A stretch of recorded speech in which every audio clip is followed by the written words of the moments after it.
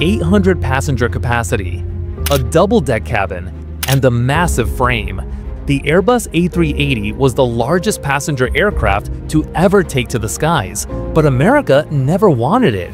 No orders, no trial runs, zero interest, zero acceptance. But why? Was it really that bad? Or was it just too much? To understand the reason, we need to look beyond the aircraft itself. We need to examine the American aviation model. This video doesn't just explain why the A380 failed, it also explores why the US market has always been closed to giants of the sky. The Airbus A380 was designed in the late 1990s with a very clear goal to create a massive hub-to-hub -hub system connecting the world's busiest air traffic centers. Airbus envisioned a future where thousands of passengers would travel daily between mega airports like London Heathrow, Frankfurt, Singapore, and Dubai. And the most efficient way to move them was with one aircraft carrying as many people as possible. That's why the A380 was big, very big. But there was a flaw in that vision. The United States didn't fit this model at all. Unlike Europe, the US aviation system isn't built around a single central hub.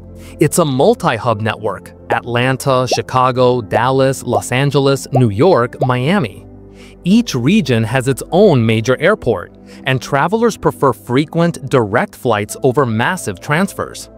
Airbus's revolutionary dream may have worked for Europe and Asia, but for America, this giant aircraft was a product of the wrong time and the wrong market. And that was just the beginning. Because US airlines saying no to the A380 wasn't just a strategic decision, it was also an operational impossibility. When Airbus launched the A380, it was hopeful. Gulf carriers were flooding in with orders and the Asian market showed massive interest. But from the United States, the world's largest aviation market, not a single order came. Why? Because US airlines rejected the A380's very concept from day one. Delta Airlines' former VP of Operations, Steve Dixon, put it bluntly, the A380 doesn't fit our network. United Airlines' former CFO, John Rainey, had a more strategic view. It's more efficient to operate several wide-body flights than to try filling up one A380. American Airlines believed demand in the US wasn't strong enough to keep such a massive aircraft full. Flying 500 people from one city to another in a single flight, it's just not that easy in America. All three carriers shared the same view. The A380 was too big, too clumsy, too risky, it's not enough to fill a plane once, you have to fill it every day on every flight. And US airlines aren't in the business of taking romantic risks. To them, every route is a math problem, and the A380 was the variable that never quite solved. The A380's massive frame naturally required four engines, but that size came with two major problems, fuel consumption and maintenance costs. For years, US airlines have been shifting their fleets toward more efficient twin-engine aircraft. Models like the Boeing 777, 787 Dreamliner, Airbus A330, and A350 can all fly long-haul routes with two engines, and they burn 20 to 30% less fuel compared to the A380. And it's not just about fuel. Four engines mean twice the maintenance, twice the risk of failure, and twice the spare parts. Especially in the US domestic system, a plane sitting on the ground is a plane losing money. That's why simplicity and operational reliability are critical for American carriers. The A380, as much as it was an engineering marvel, was carrying the wrong weapon into the war for efficiency. America's response was clear, more engines mean more problems. And because of that, the A380 was eliminated from the balance sheets before it ever touched a US runway. The philosophy behind the Airbus A380 was crystal clear. Fewer flights, more passengers. In other words, lower frequency, higher capacity. And that made perfect sense in centralized aviation systems like those in Europe and Asia. At airports like Heathrow, getting a slot was difficult, so the more people you could carry per flight, the more efficient the operation became. But that's not how things work in America. The US operates the world's most advanced multi-hub system. Airports like New York and Chicago, along with nearly every major US airport, serve as regional hubs, and many of them function as international gateways on their own. So traffic isn't funneled into a single central hub. Most Americans prefer to avoid layovers, and airlines respond by offering a high number of direct flights. Take the New York to Los Angeles route, for example. American Airlines, Delta, and JetBlue operate dozens of flights every day. Why? Because they want to give passengers flexibility. Some want to fly in the morning, others in the afternoon, and some at night. Now imagine putting an A380 on that same route only one or two flights per day, but with 800 seats to fill. What if it doesn't sell out? What if there's a belay? What if the return flight is late? The whole system could jam. Instead, US airlines prefer more frequent, more flexible flights.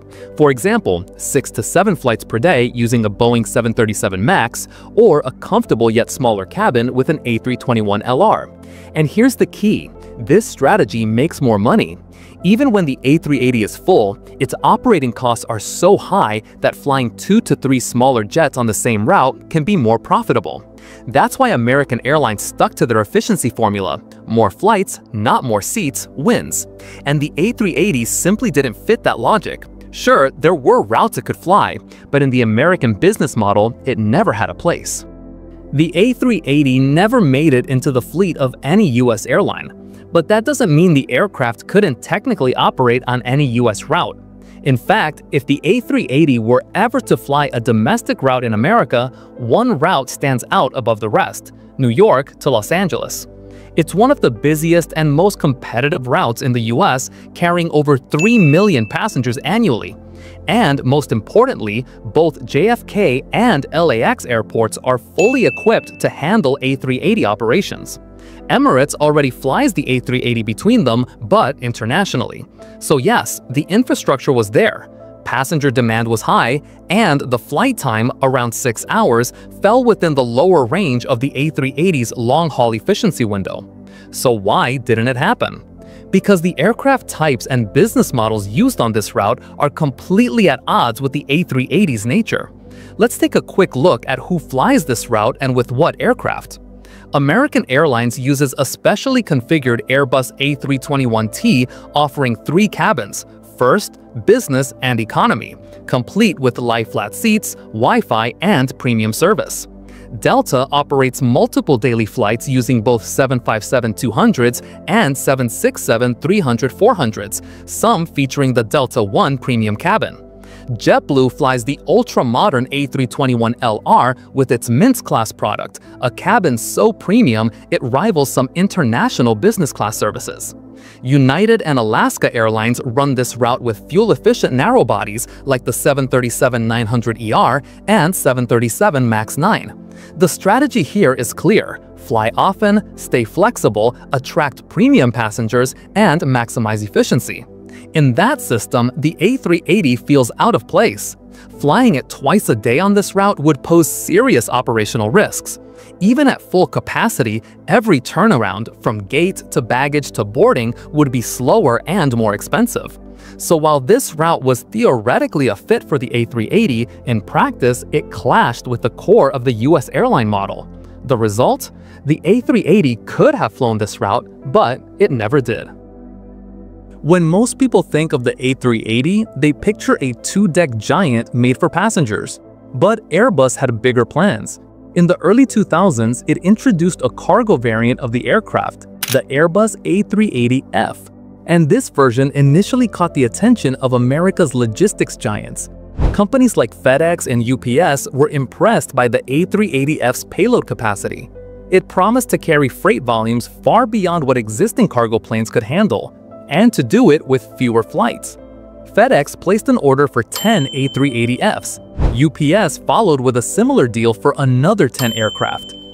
Airbus believed the cargo version could give it a foothold in the US market, perhaps even before the passenger model took off. But that dream didn't last long.